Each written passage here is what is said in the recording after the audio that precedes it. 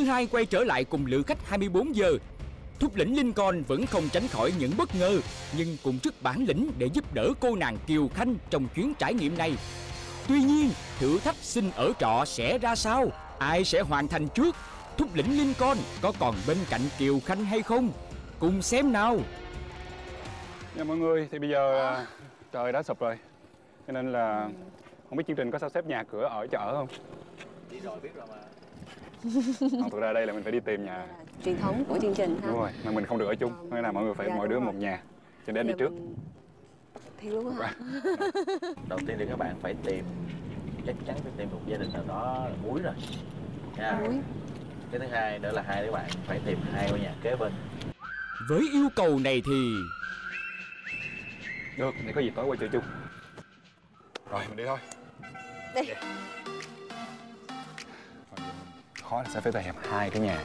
Hai cái nhà sát nhau mà phải cùng làm muối. Về Nhưng mà trong khu vực này thì chắc là nhà nào cũng làm muối. Không nói với em nghĩ là trời sắp tối rồi mình đi nhanh hơn đi anh. Đây, mình chạy luôn ha. Mình chạy đi. Một, hai, ba. Cái đó đi nhanh đi. Đâu em chơi anh quay phim chứ? Ở đây Cái, cái đường vô ở đây. Ủa cái đó có phải cái nhà không? hình dáng của căn nhà. Nhưng đây là cái Rồi, kho xong. À, không có nhà luôn á, chỉ có đúng một căn thôi à một căn nào xin được Một căn thì không được Mình Ok. hỏi coi, ờ, em muốn hỏi thử coi chỗ nào đông đông nhà Cô cho con hỏi um, ở ở gần đây á cô có cái khu nào mà nhiều nhà ở gần nhau không cô? Đi sâu vô trong nữa ha. Thẳng vô là đi Dạ con cảm ơn Dạ, ơn cô. cô nhiều Chào mọi người.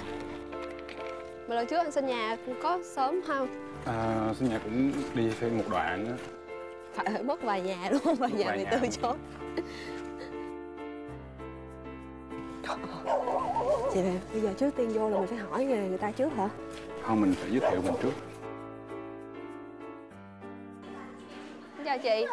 À, tụi em à, em là Kiều Khanh à, còn đây là anh Lincoln. Em Lincoln tụi em đang tham gia một cái chương trình thực tế là tụi em sẽ đi tìm hiểu um, những cái um, đời sống và cái công việc của những người dân ở cái khu vực này.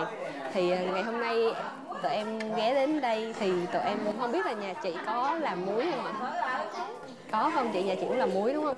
À, em em có thể làm phiền chị tối nay cho em ngủ nhờ lại nhà chị được không? Không được. Được hả chị? Dạ dạ tại vì um, không rộng.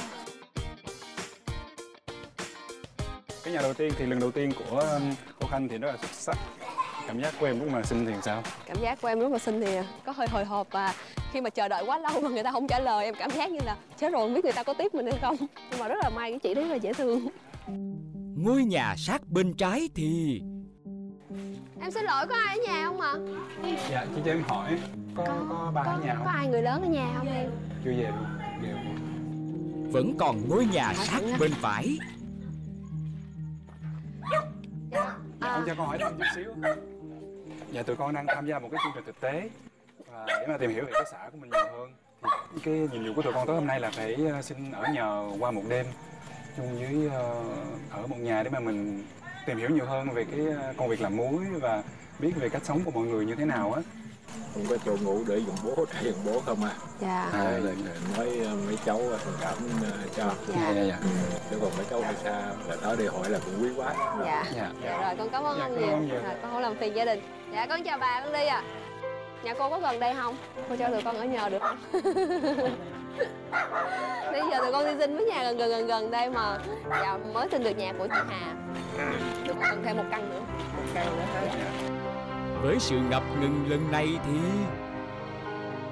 ở nhà cô được không nhà thì ờ, nó ấy vậy nhà, nhà con bên đây này nhà đứa con gái bên đây này ờ, thằng trai á nhà Dạ. bên đây này Dạ. nhà này dạ thì à, tụi con xin phép ở đây ở nhà cô được không ạ rồi ờ, nó mới về đâu mà chơi nhà tiếng này chơi nhà cổ rồi à.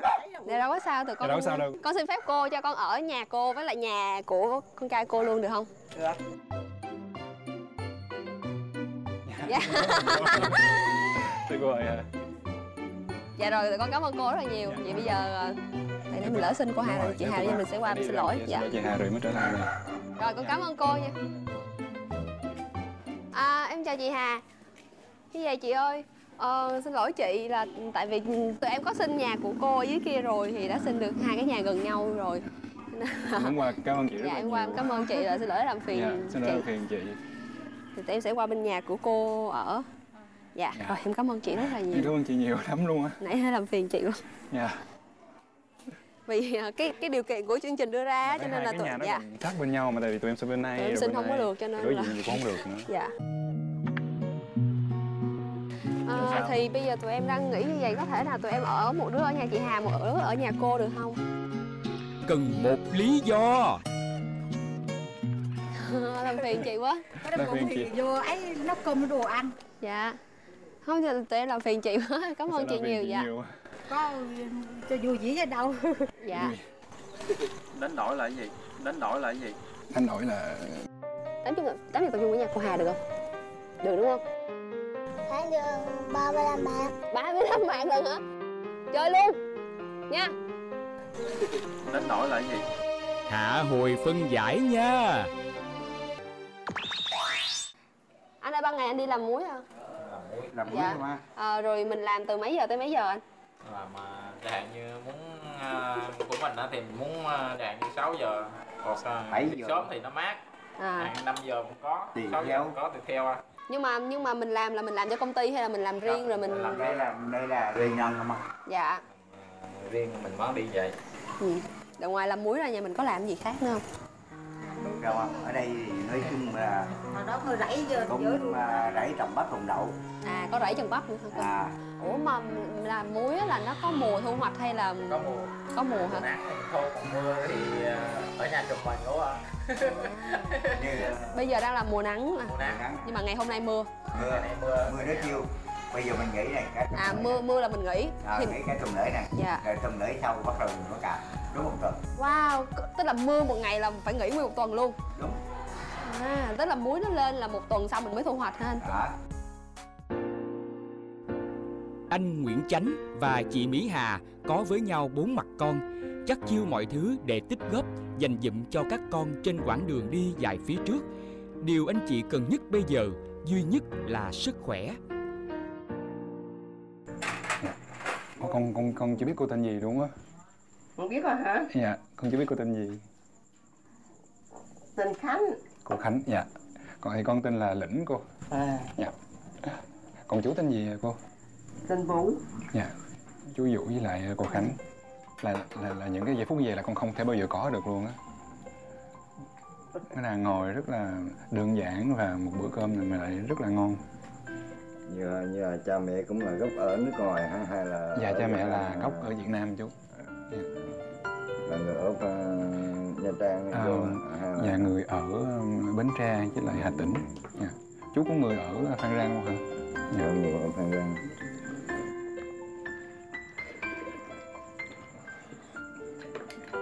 nhưng mà ở bên đó buồn lắm đó chú ở bên đó buồn lắm. Ừ, nói ở trong đó nói ở nhà ở mình đây mình mình còn thoải mái hơn bên đó. Dạ đúng rồi. Mình ở đây rồi còn đi tới nhà này nhà kia còn mình đó ở Dạ. nhà. Nó, nó rất là cách xa với nhau nó không có được. Điện thoại không à. Dạ đúng rồi. Nó không có được cái cái nó kêu là gì cái cái tình cảm mà giữa con người á. Nó bị có. dạ.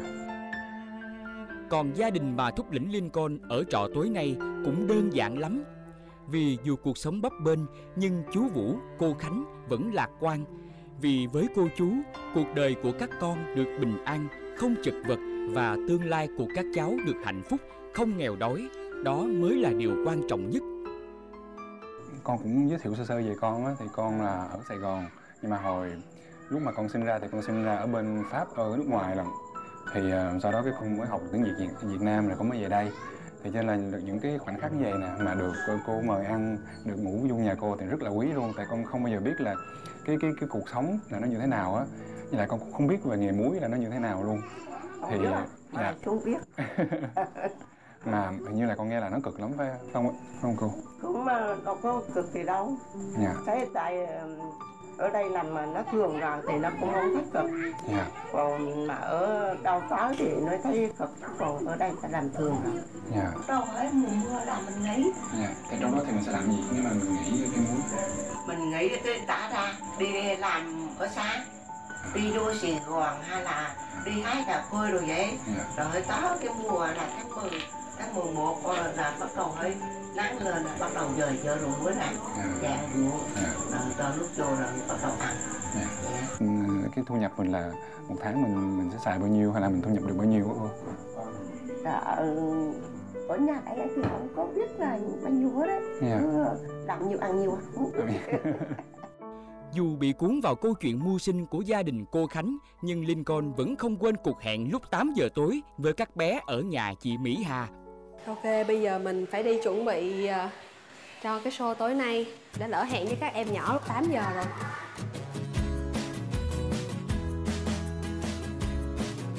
Em bé này bao nhiêu tuổi? 5 tuổi. 5 tuổi hả? Em học lớp 1 chưa? Chưa học lớp 1 luôn. Em à, Mới mẫu học giáo mẫu giáo hả? Đây, đây, đây, đây, đây, đây, đây. Vậy, vậy mấy bạn 5 tuổi là là học mẫu giáo rồi. Ờ, ở lớp có học cô giáo dạy cho bài hát nào không? Đâu hát biết hát bài nào? biết hát con cò bé bé không? Con cò bé bé biết không? Nó đầu cành kem đi không hỏi biết đi đường nào khi em hỏi về em em em chào thì sao em chào thì phải khoanh tay lại muốn đi con khi về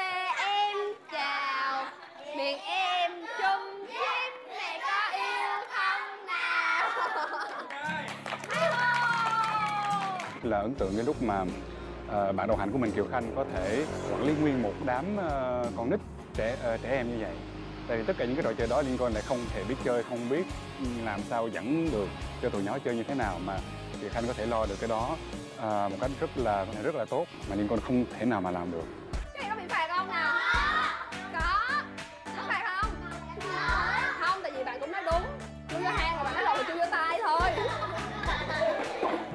Như là cái đũa thần để mình phô biến đó nha. Rồi giờ mình nói lại này, mình sẽ phô biến đó nha. Một, hai. Cái đũa thần đâu? Đây nè đúng không? Trời ơi cái này nè mình người phải để ý cho kỹ, thấy không? Làm lại nha. Một, hai, ba.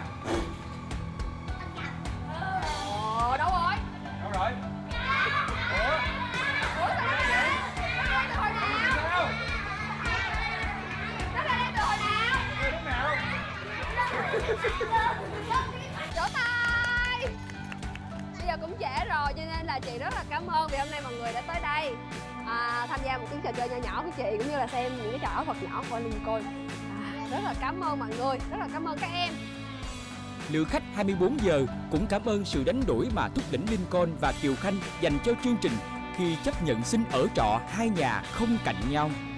Còn gì tuyệt vời hơn những nụ cười, những phút giây thoải mái mà hai lữ khách đã mang đến cho các em nhỏ ở xứ nắng rác, muối mặn này. chị mấy mấy mấy đứa bé ở nhà rồi chị có tính là lên cấp 3 cho nó lên Sài Gòn nó học không?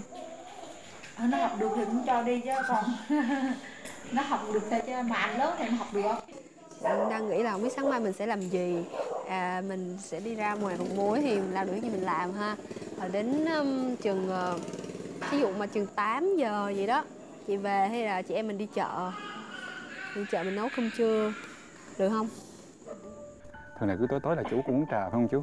À mà ờ, con chỉ uống ờ, canh sáng canh trưa. À dạ. À, và canh xế chứ còn còn canh đêm là không có uống không? Uống là mình thức à? À dạ. Từ chó này mà thức còn học gì chứ. Giờ chú này ngã ngửa chú ngủ à? Dạ là khoảng 8 giờ rưỡi là chú ngủ rồi dạ. Ngủ ngủ rồi cái thức dậy sớm lắm. Dạ. Đi cỡ trễ lắm á. Năm giờ sáng dậy uống trà. Dạ. Còn mà ngủ bốn giờ giờ mấy là vậy rồi là dậy có khi hai giờ À, hai giờ đêm cái, cái ngủ được cái là, tỉnh dậy. là, là uống nước trà. Dạ. À, uống nước trà miếng đến gần sáng là nằm nghỉ lưng cái là bắt đầu đi làm. Rồi bình bình thường tối về nhà làm cái gì chị? có làm gì hết á coi phim rồi ông, ông chồng thì qua bên đó trao cho bà chị á. Ừ. Bố anh rồi có tính uh, tìm thêm một cô không? giờ mình lo còn nhỏ rồi lo cho nó ăn học đũa Dạ. Chú có một cái ước mơ cho con cháu thì ờ, nó sẽ là cái gì? Thì cho nó là cái tồn tại sau này nó có vợ có chồng. Dạ. Nó có công việc. À, là nó nuôi con nuôi vợ. Dạ. là đó là chú an tâm. Dù có chú có chết đi thì cái tâm của chú cũng còn vẫn Dạ. việc Đêm chợt thổn thức với những khắc khoải, những ước mong. Mong mọi điều rồi sẽ ổn, cũng như hết đêm tối lại là ngày tươi sáng vậy. Xin chào mọi người. Chào các bạn. À, sáng hôm nay thì à, à, Khanh với lại Linh Côn đã có hứa với cô à, với cô Khánh là sẽ ra phụ cô ở ngoài đồng muối. Thì à, hôm nay đang đang đi tới đó. Mà sao không thấy ai hết? Không lẽ mình dậy trễ hả anh? Mà em nghĩ là nếu mà mới có 7 giờ mà. 7 giờ thì mình đâu có trễ đâu tu xong rồi nó nghỉ rồi? À. thứ hai thứ ba nó mới làm lại Dạ. Nói tôi muốn Đó, nó tìm đẩy hiểu cách kìa. muối. Đó. Thì là cứ lên đó. À, có quả là mình biết là thực ra mình cũng không phải tới trễ mình tới đúng giờ.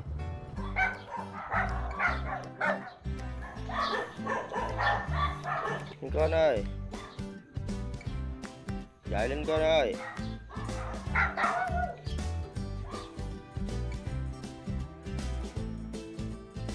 nhưng Nhưng mà mà- do là hôm nay hết người ta thu hoạch hết muối rồi cho nên người ta nghỉ sớm thôi. Nếu là người ta làm nhanh làm sớm mà nghĩ là thứ hai sẽ bắt đầu lại. Thì người ta sẽ nghỉ hai ba ngày đúng không? Đúng rồi người ta sẽ nghỉ hai ba ngày. Thì bây giờ người ta đã thu hoạch hết muối ở trong đồng rồi. Cho nên là mấy anh có kêu là nếu muốn coi hay là muốn học hỏi thêm thì có cánh đồng nhỏ bên kia thì mình có thể qua để mà tìm hiểu nhiều hơn. Cánh đồng muối mà thúc lĩnh Lincoln vừa nhắc tới đây. May mà vẫn còn hoạt động nha.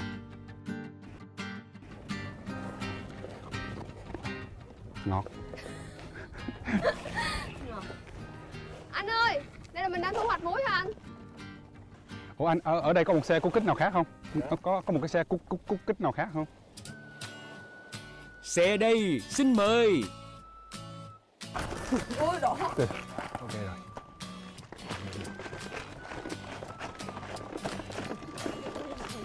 Em canh cái, anh không thấy cái bánh luôn á không thấy cái bánh nó nằm đâu luôn á. Từ từ nha từ từ từ nha. Được chưa được chưa ok rồi anh đi đi. Nha. Coi chừng nha cái nhỏ xíu luôn á. Rồi ok.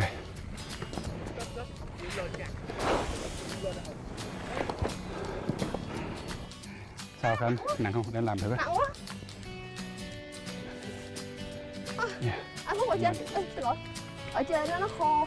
Ở dưới nó ướt nặng lắm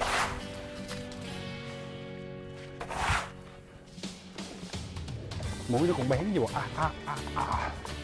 không có mang đôi ủn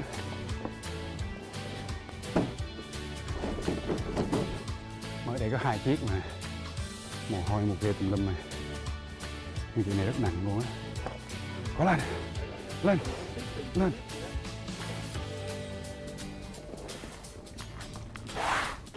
Em muốn đẩy thử không? Hay qua leo bên kia làm đẩy thử nha.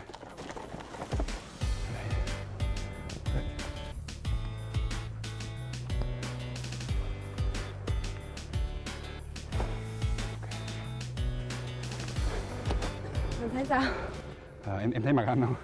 Nước nhẹp rồi. À, cái cái công việc này thật sự rất là vất vả. Um, xúc cái đó rất là nặng. Ờ, nếu mà mình xúc cái lớp muối khô ở trên thì nó còn đỡ còn xúc cái lớp muối ướt thì nó nặng kinh khủng xong rồi cái xe rất là khó. Hồi nãy liên con xúc mới có hai có hai xe à. đây được đúng hai xe mà. Mồ hôi một cây đã toát ra rồi ướt nhẹp luôn rồi. Mà chú nè coi cái tốc độ chú làm rất là kiểu không ngừng nó cứ buộc buộc buộc buộc còn hồi nãy là rất là bụng về mà đẩy qua rất là nặng tôi đấy công việc này rất vất vả đẩy mới có hai xe thôi. Đây không biết làm sao không biết làm sao mọi người làm tới tới tới từ 7 giờ tới 11 giờ là còn tới 4 tiếng nữa. Không biết làm sao mọi người làm luôn á. Còn nhiều thứ không biết lắm nha. Ví dụ như mẹ bây giờ nấu canh chua sao mẹ? Nấu canh chua với cái gì? Canh chua với cá. Sao thấy lo cho nồi canh chua quá. cô con thấy đây là cô có chuẩn bị cát này nè. Cát có hai cây cát này nè. Là để làm gì cô? À để cất nhà. Là cô đang chuẩn bị cất, à, cất nhà. Vậy mà chi phí cô có đủ chưa? Có đủ để mà xây nhà chưa? Chưa. Chưa chưa có đủ. Dạ. lần lòng dành dụng. Dạ. thêm vô. Dạ. rồi lại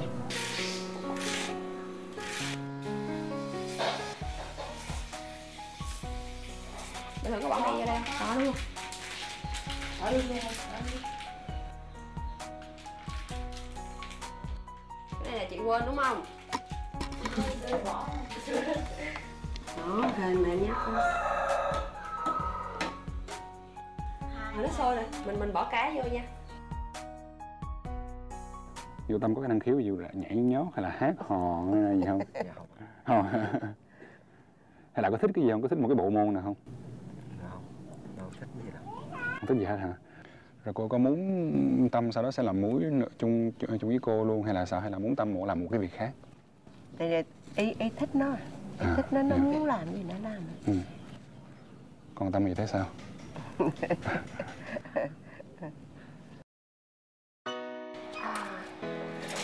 dạ em mời chị mời anh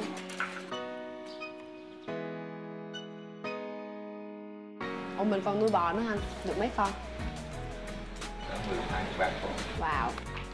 Mình nuôi trong chuồng hay là mình mình nuôi ở, ở đây là hàng ủa nó có bỏ nó có nó có đi mất không? Không không. Bò quen á. Rồi người ta có lấy không? Mà có khi nào mà bị mất mất bò chưa anh? Chưa. Chưa bị mất đây giờ là chưa có. Vậy hả? Cả xóm mình là cũng không ai không không mất mát gì hết đúng không? Ờ chứ tại vì tối hôm qua em ngủ em thấy để cửa mở luôn á. Em nói ủa sao ở đây người ta thoải mái vậy? Ngủ mà để cửa mở vậy luôn Có gì đó mà em có thích một cái gì một một, một cái công việc gì không? dạ không có Không hả? Em có về vô Sài Gòn làm chưa hay là đi một cái tỉnh khác để mà làm không? dạ chưa Chưa hả? chỉ là mình có quán ở nhà Ok. Tại cha mẹ chưa cho hay là sao hay là? dạ ba mẹ chưa cho Ok.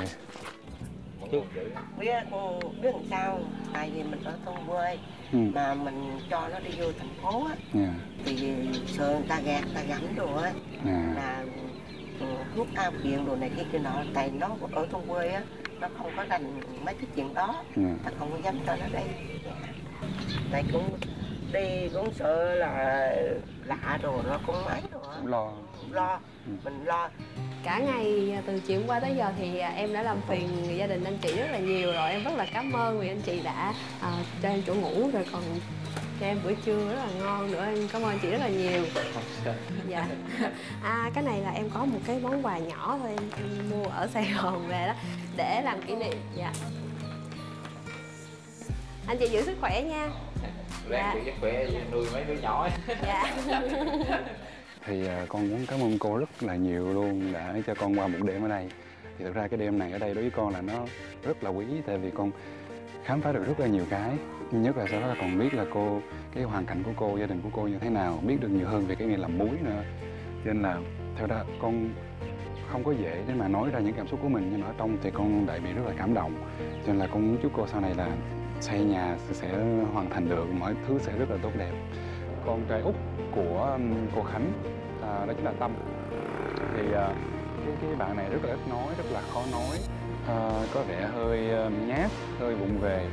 Thì nó lại ờ, làm cho con thấy đồng cảm tại vì con hồi đó cũng như vậy có nghĩa là rất là ít nói không dám nói không có biết lựa lời không biết làm sao và không biết chọn cái con đường mình sẽ làm gì và hiện tại Tâm cũng như vậy. Sự đồng cảm từ trái tim đã mách bảo Thúc lĩnh Lincoln cần làm một việc thiết thực Dù chỉ là hướng dẫn trò ảo thuật giản đơn.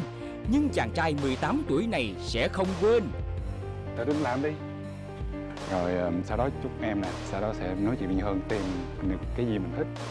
Rồi uh, có thể là làm tìm được cái nghề Một cái việc Rồi sau đó sẽ cưới vợ để mà cho ba mẹ yên tâm nữa.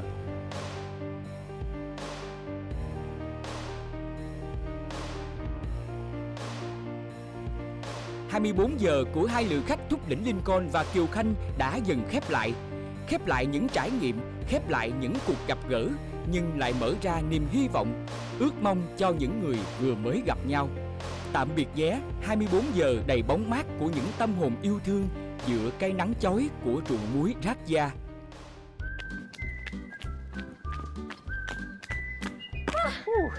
sau cái hành trình 24 lữ khách 24 giờ này thì em cảm thấy là em được trải nghiệm nhiều hơn trong cái chuyến hành trình này. À, đầu tiên là mình có một cái người bạn mới rất là dễ thương.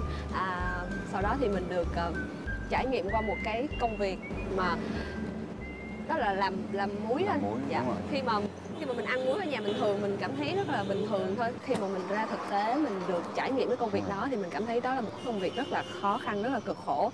Và cảm thấy rất là thương cho những cái người công nhân làm muối. Một lần nữa được trải nghiệm cùng cả một cái ekip một cái chương trình rất là thực tế 100% thực tế. Trăm phần trăm thực tế. Ờ, là mình bị bầm dập là thực tế luôn chứ không phải là giả. Hy vọng là sẽ có một cái hành trình khác thì Dạ. mình có thể đi tiếp được nữa. Hy vọng là mình sẽ được quay trở lại với chương trình và được tham gia những cái hành trình tiếp theo nữa. À, và các bạn ơi các bạn hãy đón xem được khách 24 giờ à, hàng tuần vào ngày chủ nhật trên kênh HTV7 vào kênh giờ 17 giờ 20 nha. Chào bye bye Hồ Bích Trâm, Hoàng Anh, những nhân vật cũ lại tiếp tục quay trở lại đạo Yến với mùa khai thác Yến như lời đã hứa cùng một lữ khách mới, ca sĩ Lương Viết Quang. Lại thêm một hành trình trải nghiệm khó quên với những lữ khách, lại thêm một hành trình thú vị dành cho quý khán giả. Đừng quên đón xem Lữ khách 24 giờ được phát sóng lúc 17 giờ 20 Chủ nhật hàng tuần trên HTV7. Xin chào và hẹn gặp lại.